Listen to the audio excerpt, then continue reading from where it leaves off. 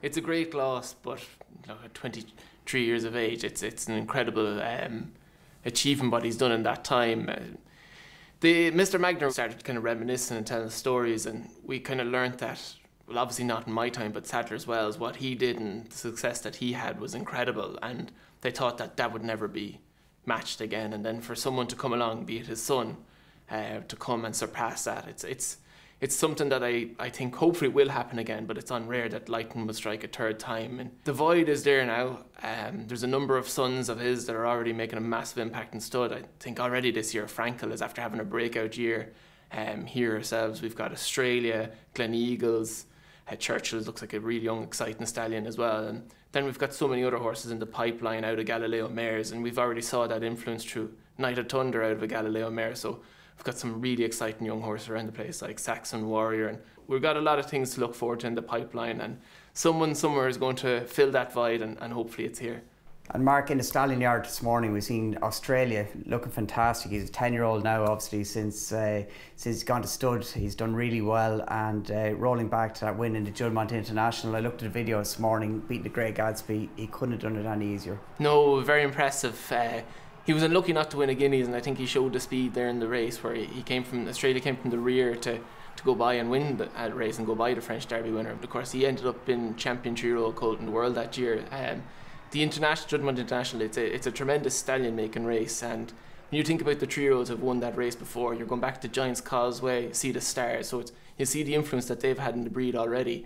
Um, and hopefully St Mark's Basilica as a three-year-old can go and, and win it this year and, and continue on that legacy in the short period of time he's here, he's got off to an unbelievable start. He's sired Breeders' Cup winner, he's sired a Classic winner, Gannet winners, uh, Grand Prix de Paris winner. So he's had a fantastic start to his stud career here, um, and it's it's really exciting. We've got then the two-year-old Point Lonsdale, um, won a Royal Ascot this year and is the favourite for the, the 2,000 guineas in the Derby next year. So he's a really interesting horse. Um, he's by a Derby winner. He's out of an Oaks winner, and he won a Derby winner as Derby winner himself. So he's got a lovely profile as a stallion as well. So he, he's a horse that we think is going to have a real big future. And for such a young stallion, he's, he's one of the leading sires in Europe already for stakes winners.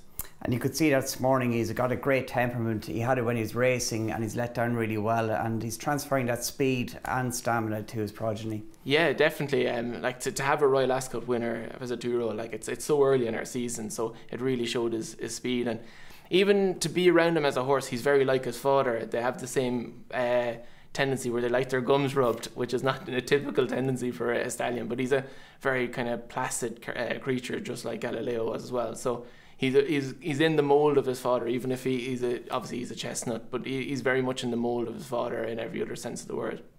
And Mark, uh, ahead of this year, this year's Coolmore Nunthorpe Wootton Bassett Stakes, of course, a fantastic race in its own right. Uh, Wootton Bassett, of course, is a new addition to the stallion ranks here at Coolmore. Yeah, yeah he's a very exciting stallion. Um, unfortunately, you couldn't see him today. He's, he's in Australia at the moment, but the book of mares that he got here has been incredible.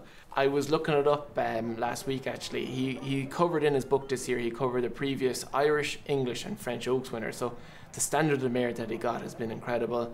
Um, we've obviously a lot of Galileo mares to go to war with, and he seems like a perfect fit for them. Obviously, with the cross, you can see Chindit and that sort of horse have been produced from it already. Um, he's a really exciting young horse and versatile as well. Um, he can get an Abbey winner. He gets a lot of class. He got toughness. You see Audarya's there as a filly that just keeps turning up and fighting her fight. And then we've got, of course, the sta- standard horse that he can produce, and that's Almanzor. Um, I think everyone remembered the day in Leopardstown when he turned around the bend wide and, and, and last and how he came by a field of I think there was eight or nine Group 1 winners in the race that day. And of course it's uh, almost things come full circle with Wootton Bassett. He won the sales race at York prior to going on the course to land that famous victory in the Group 1 John Lagardère on Arc Day and uh, to have the race named after him Nunthorpe it's uh, case the circle closing. Yeah, and it shows the pride of place that he has here. He's a very interesting horse actually when you, you look at his life cycle. He, he went to stud. He was a champion two-year-old in France. He he he got off to a kind of a we'd say a mixed reception, and his first crop wasn't overly well received when he went to stud. So he only got 23 foals from that crop, but from that crop he was able to produce the, the likes of Almanzor. And each year he just kept get, getting better and better, and he was upgrading mares and putting class into them. He's, he's a classic sire. Um, he's a sire of sprinters, sire of middle distance, and a sire of champions most importantly. And he's a perfect outcross for a lot of families. Important, yeah, especially around here. We've got so much uh, as well as uh, Galileo blood. Um, he works so well with that, and he, he, he works with a lot of different lines as well. There, there seems to be no emergent nick or, or, or cross that seems to immediately work when he seems to just work with everything. But the one thing is is is that he always consistent is that he puts class and upgrades his mares. Exciting times. Yeah, yeah, and, and he's going to have great opportunities here. And um, I know Mr. Magner recently said like that the great stallions take their chances, and he's definitely came in here and he's taken his chances, and, and he has always taken his chances when he when they were presented. So that's always a, a real good sign of a stallion, and, and he's definitely ticked that box. And Mark, ahead of this year's Coolmore Wootton Bassett and Nunthorpe Stakes, say the Coolmore ownership looks likely to be represented by Golden Pal, of course, trained by Wesley Ward. We know him best over this side of the world for being second in Norfolk in 2020. Yeah, hugely exciting horse, um, extremely fast. He came back this year and won in Saratoga, um, blistered through the field and, and set a ferocious pace. So we're really excited about him. He's by our own stallion, Uncle Mo, stands in Ashford.